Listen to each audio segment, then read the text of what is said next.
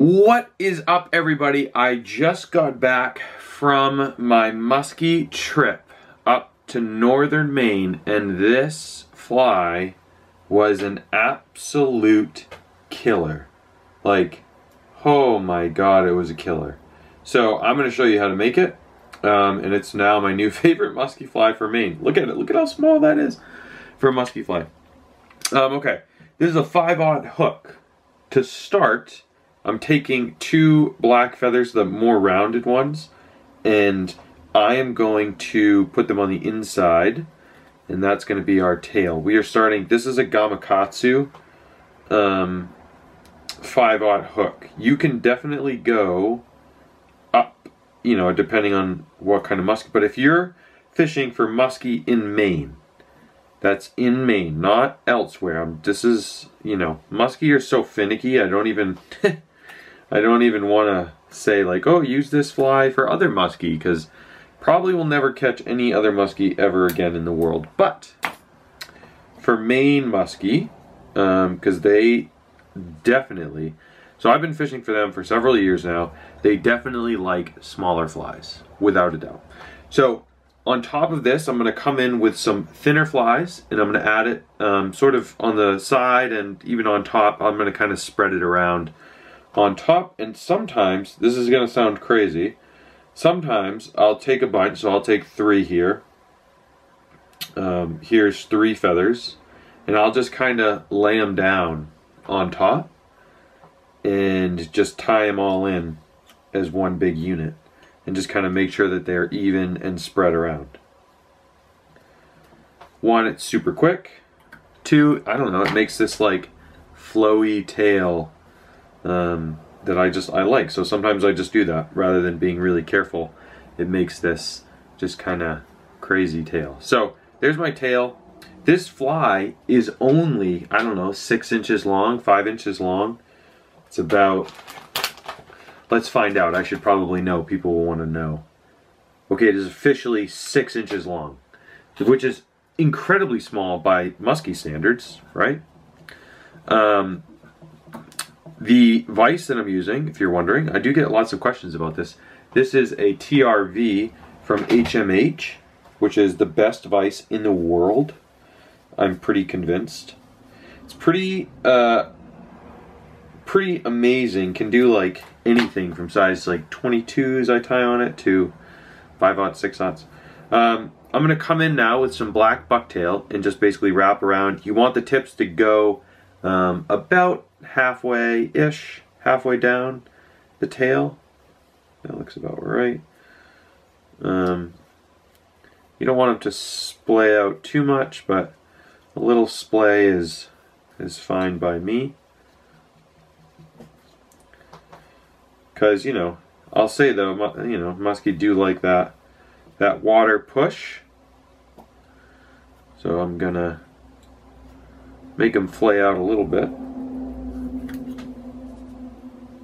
Now listen, this fly, you're going to want to add bells and whistles to it, but I'm telling you, I'm telling you from the bottom of my heart, just don't add all the bells and whistles.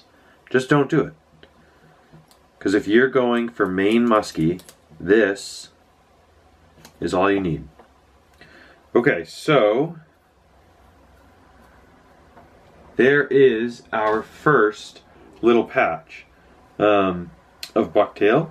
And then I'm actually going to come in, give some space here, give a little bit of space, like so.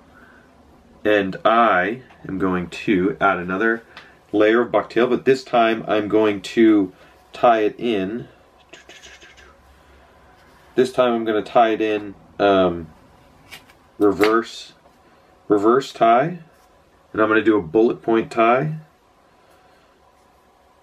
Or uh, yeah why not? Alright that looks pretty good. I'm going to do a reverse bullet point. This one's not going to be um, super super flayed either.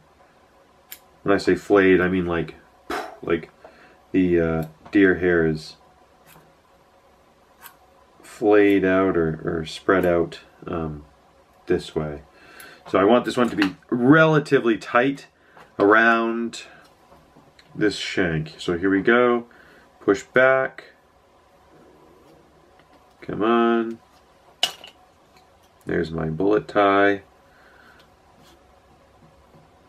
Great. So you see it's not super flayed, like a little bit, but not like crazy. The more you use these flies, like the more they get used, this splay action will settle down and it'll turn into a nice fish. Um, now, where is it? Where are you?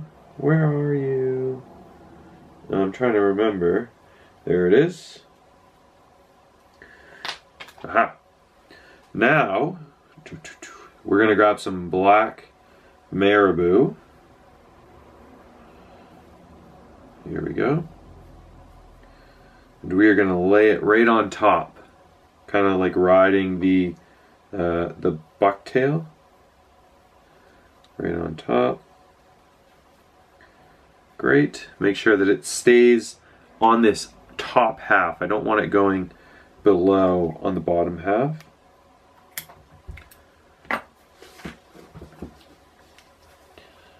Okay. Now I'm going to come back in with a smaller layer of black bucktail. Something not as thick, you know what I mean? So this might even be too thick. And again, I'm gonna, this is a little tricky. What I'm gonna do is do three loose wraps, hold the marabou in place, push down on the bucktail, pinch the sides, push down, pinch the sides, and let go.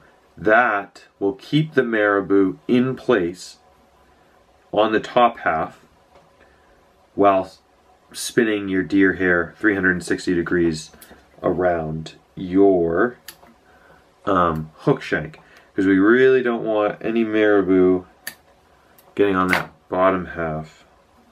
I think I have one strand. Oh, that one strand of marabou. Alright, so that's it. Nothing too crazy on this back half. Again, you're gonna want to put all the bells and whistles. I'm also an idiot, and I ran out of black thread because I'm an idiot. So you should be using black thread. I'm using this is olive. You know. Does it really matter? Probably not. But um, you know, maybe it does. All right, so I'm whip finishing. Again, this front, this is going to be pretty much covered up. So if you want, though, for added security, you can put a little drop of super glue on your knot. Come on. Come on. You know what happened? Uh, super glue sucks. And it clogged. But what glue doesn't clog? Imagine if you could make a glue that didn't clog. Oh, you'd be so rich. All right, so that's it. You can kind of see what's happening is that we have almost a hedgehog look. The bottom's not as flared, but it's sort of a hedgehog look. That marabou will be very flowy throughout the body on the top half. Next, you're going to come in with a 20 millimeter shank. That's a 20 millimeter shank. Let's go get Alright, so I have zoomed in for us.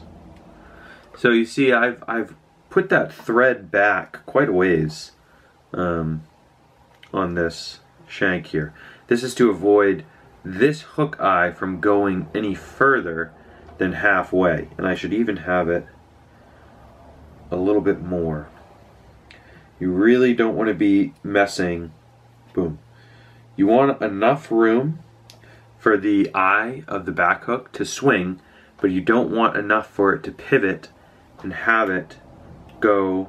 See how it can't go any more than that? That's it. It can only go to here. So that's where I want it at. Okay. Now, back to our black bucktail. And this is where you get to be the decider of how flay-y you want your fly to be. If I could find some decent patches here. I'm running out of of buck. Come on. Oh, there we go. Ah, I need a new tail too. I'm just a mess right now. Just an absolute mess. I'm moving. I'm in the process of moving. And I'm like rebelling by making my fly tying desk just abysmal.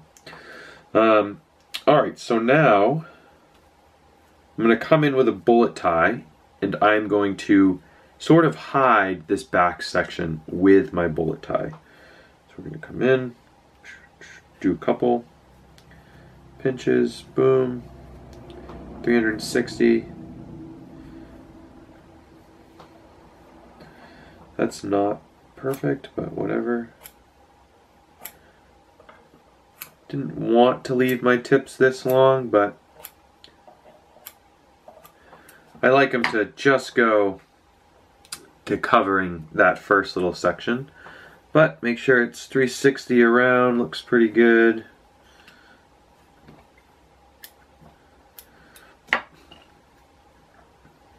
Then we will push it back. It's to look a little funny to start because um, of your hook, you know, like it just looks funny. But don't worry. Okay, there's our first bullet tie. Now we are going to take Marabou, our friend, Mr. Marabou. Hello. Black. Just kidding. First, we're going to tie in some longer feathers. Here I have these black longer feathers.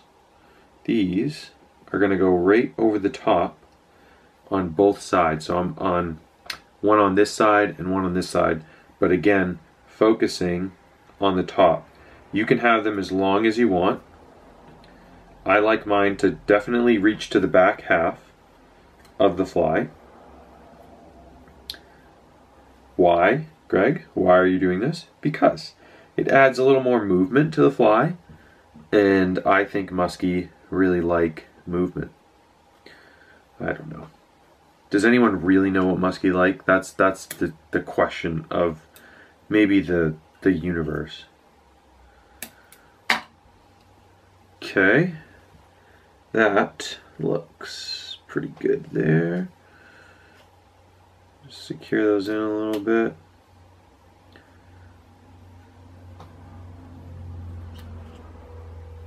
Great. Now we'll come in with Mr. Marabou. Again, just one feather. I'm not like going crazy. It's just one feather of Marabou and that will go over the top.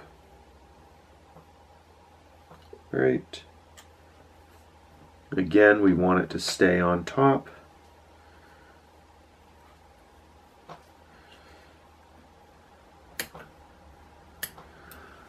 Okay. You should be at this point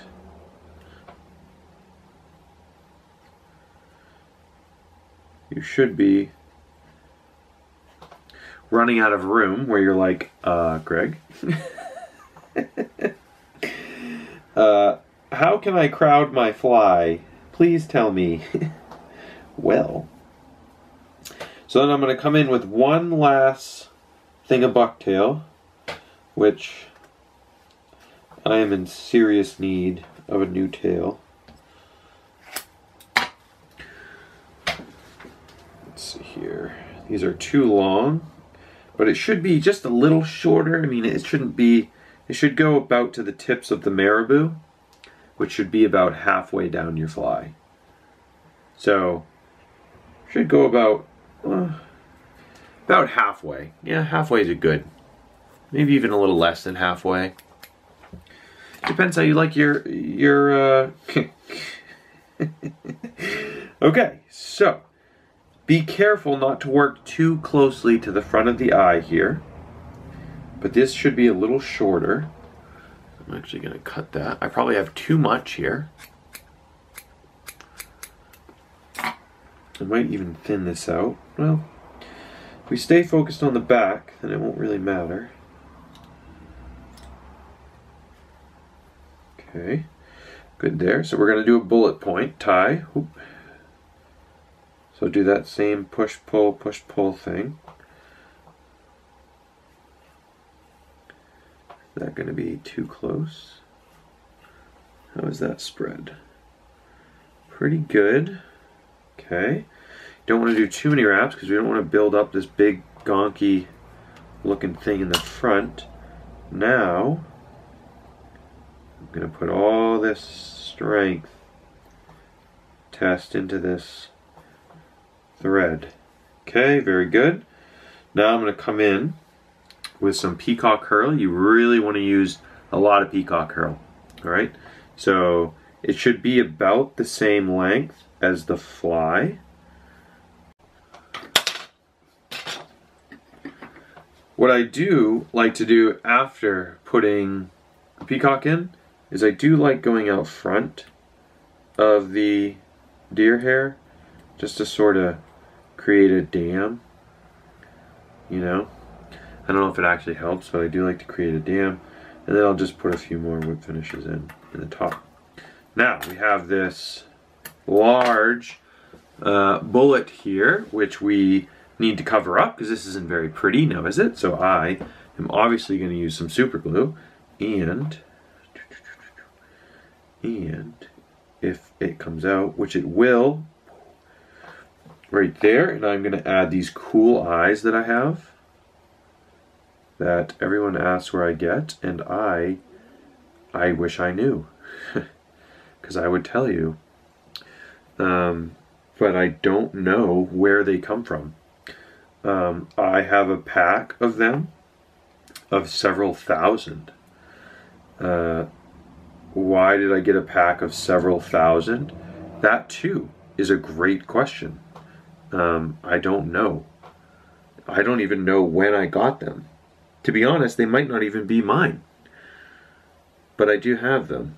Um, I'm sure you can find them on eBay or Amazon or whatever, but um, yeah. So there's our eyes. See the cool tabs? They're they're just tab eyes, but they're I don't know. They're they're different um, than the ones that you buy at the store. Um, so once I go here, then I have some Solarez thick. I'll just come in the top here and fill in some quick gaps just to make sure that everything is sturdy. How are we doing there? We're doing okay there. So I'm to zap it. This is really more just to keep the eyes together um, and not breaking open. Don't point the, the UV light towards the camera or at you guys because that is how you blind your audience. Okay, so here is our fly. Boom. Dunzo. Look at that. Let's see if I can get this out of the way and show you. okay, there's our fly.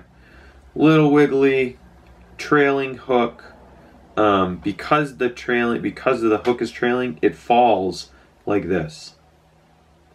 It does not fall face down. It falls vertical like so because most of the weight distribution of this fly is in the back end and I think that might be why it's was had some great success. So this looks, you know, very fluffy um, after quite some use and this has been beat up by several muskie you get more of this fish body, um, where this one's still pretty poofy.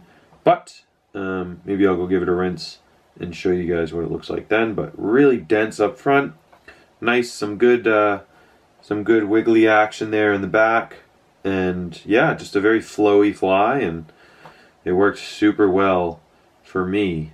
Um, in the Allagash region, St. John Valley. So if you're heading that way, this could be a fly. If you'd like to buy it, let me know. If you want to tie it, have questions, let me know. But if you're going to hunt muskie, uh, good luck because you're gonna need it. okay, follow me on Instagram, subscribe, leave a comment, uh, check out our website, do whatever you want. Don't check out our website, I don't care. Uh, do whatever you want. But whatever you do, make sure you're enjoying it. Hope you like this video. Hope you taste musky. If you do, you're crazy, just like me, so I appreciate you. All right? See you later. Peace out.